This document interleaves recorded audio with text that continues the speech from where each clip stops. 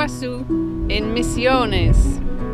And it's on the border between Brazil, which is just over there across the river. That's the Iguazu River. And across that river, the Paraná River, is Paraguay. Three countries all meeting at this junction in the river. This river is the second longest river in Latin America after the Amazon, and it goes all the way to Buenos Aires, which is a thousand kilometers away.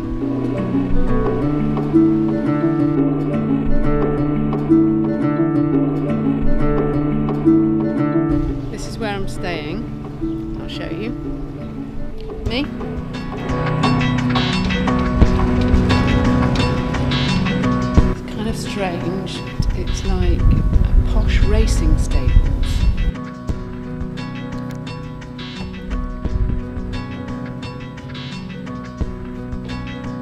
Office, little sofa, bathroom, little corner space for sleeping, and it sleeps more up the stairs, but it's private, it's just for me.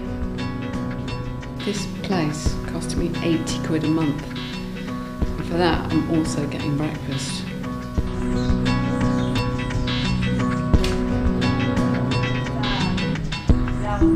There's a communal kitchen. Hola.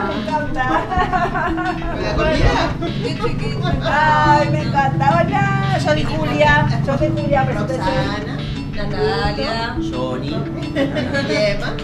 Emma, gracias Emma. Gracias. This is a gorgeous group of people who are all. Well, this is the spiritual teachers and students all in a group together.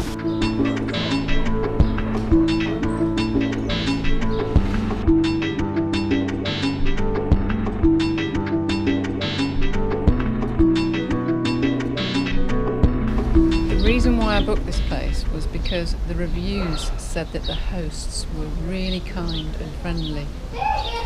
And I wanted to have like a, a home family atmosphere.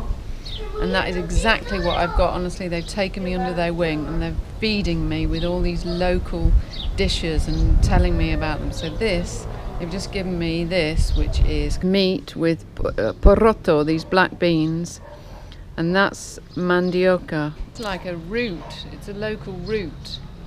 Um, just, just giving it to me for lunch. This morning, when I hadn't come down for breakfast, um, my host knocked on the door and wondered if she, if I wanted her to come and serve breakfast in my room. Um, I apologised and explained I was up late because I've got insomnia. And then she invited me to come out for a walk with her. Here, meet Mario and Sole. Chao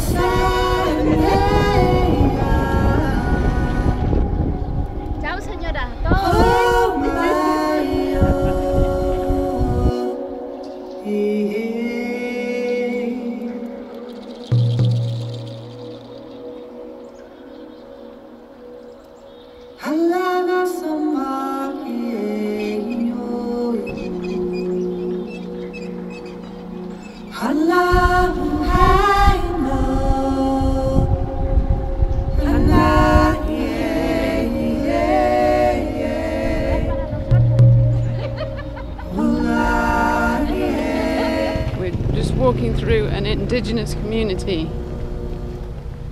¿Cómo se llama la gente de acá? Eh, aldea Bororé. Aldean Borrore. Bororé, Borrore. sí. Aldea. Aldea. It's a village. Aldea, I think, means village.